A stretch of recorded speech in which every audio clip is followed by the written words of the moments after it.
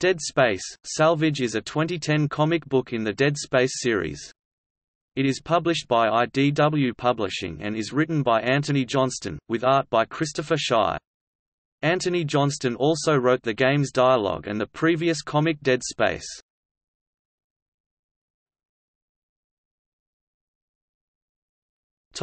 Plot summary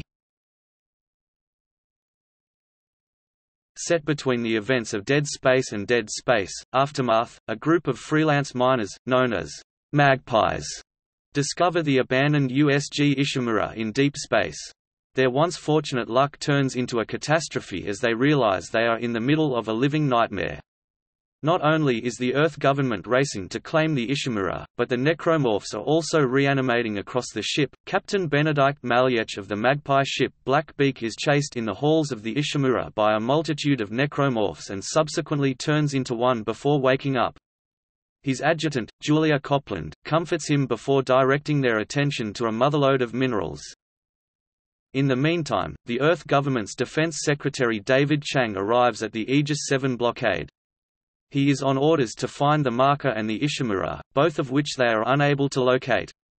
In addition, they are joined by the Oracles, who take control of the situation. We return to the perspective of the magpies, who are using a shockring to transport eggs clumps of minerals to their nest a large storage ship when they get an odd reading. The Ishimura is shocked into their position and destroys their nest with its captain, Belavan, and damages the Hunter Moon, a ship commanded by Jessica Lee and Stefan Schneider. They manage to use gravity tethers to hold the Ishimura in position and begin boarding.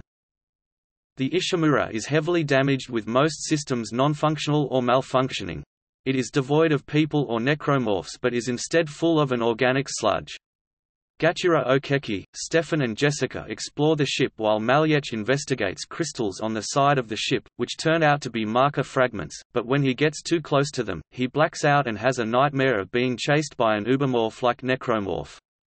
When he wakes up, he takes the shards and goes to the Ishimura. Jessica decides to salvage the ship for parts and gathers the crew at the bridge. While they discuss the fate of the crew, Malyech shows them the pieces of the marker. Lee proposes selling the marker shards, which prompts Malyech to assault her. He is brought down after a brief struggle and Venshif, one of his crewmates, locks him up in the brig. The crew realize that there might be a whole marker on board but are panicked when Copeland leaves for the EarthGov blockade with a few marker shards. Lee rallies the crew and gives them all tasks. Okeki goes down to engineering to repair the shockpoint drive. She also goes to see if Malyech has regained sanity. The rest of the crew keeps a lookout for EarthGov. Julia arrives at the EarthGov blockade and is not taken seriously until she produces marker shards.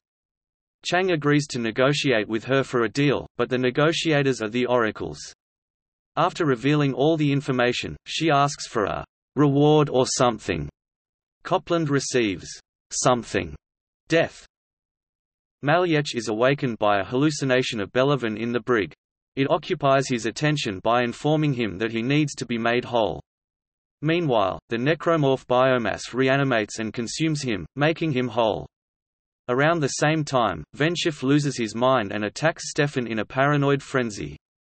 He tries to strangle Stefan but in retaliation, Stefan stabs Venshif with a marker fragment. After the remaining logs are scanned, the crew realizes the marker isn't on board. They relay the news to Lee who is being stalked by a necromorph.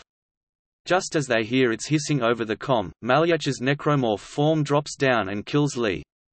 Suspicious, the crew decides to head down to Lee's level, where a large brute-like necromorph rips Thorson and Gottedir to pieces in rapid succession. Stefan and Wenbo open fire on it but when Stefan destroys a relay, both the brute and Wenbo are blown to bits. Stefan survives and warns Okeki to leave, but he and his crew are killed by more gargantuan necromorphs in the engine room. Both the Oracles and EarthGov arrive on the Ishimura, but the Oracles come on a stealth shuttle. Stefan speaks with the Marines and tricks them into going to the cargo bay, which contains necromorphs. The Oracles realize the trick but leave them to their fate to buy time. They then proceed to activate quarantine protocols. The Marines led by Captain Amos search the cargo bay for the marker and Stefan, but instead find necromorphs and death. Stefan fights through the necromorphs but is trapped by the quarantine. While Stefan figures a way out, the rest of the EarthGov team is killed. Meanwhile, the Oracles destroy necromorphs with ease using strange weapons. When they reach the bridge, they realize that the marker is destroyed and that Stefan was doing a space walk. They follow and confront him but are interrupted by a hive mind. The Oracles dispatch it and they continue their confrontation with Stefan inside.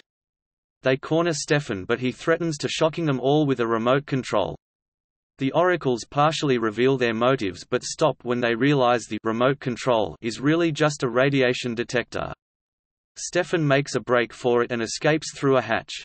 The Oracle with the weapon loses his arm when the hatch shuts. Both the Oracles are then eviscerated by a mob of necromorphs. Stefan uses their strange weapon to fight his way through the necromorphs.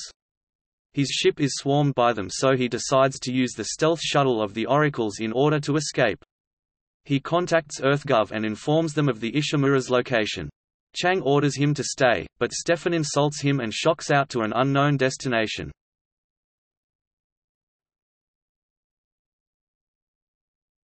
Topic: Characters.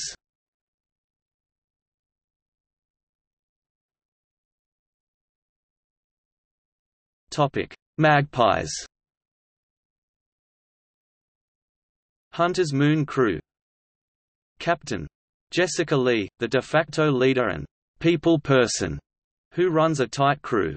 Lee quit the Marines after an embezzlement scandal surfaced that was rumored to involve several million credits. Stefan Schneider, the second in command who can only be kept in line by Captain Lee. Schneider gained a deep mistrust of all authority after his legitimate mining business went under from CEC's meddling and EarthGov's capitulation.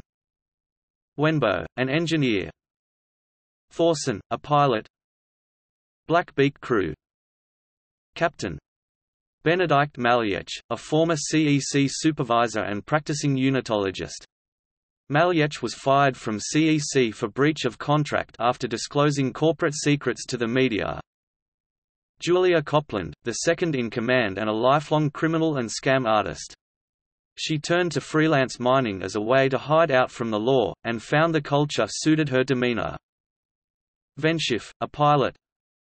Gottedier, an engineer. Sunset Crew.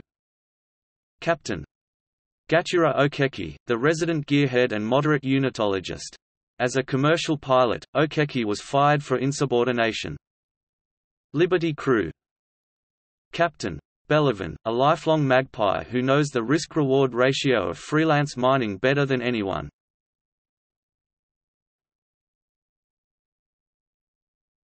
EarthGov Skyrocket Crew Defense Secretary David Chang, a high-ranking official famed for making tough decisions and his hawkish attitude to the military's role in EarthGov. USM Victory Crew. The Captain. Stealth Ship Crew The Oracles, Agents of Unknown Record. USM Intrepid Crewcat Amos.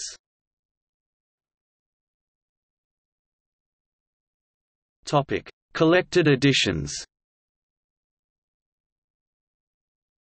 The one-shot can only be purchased in trade paperback form.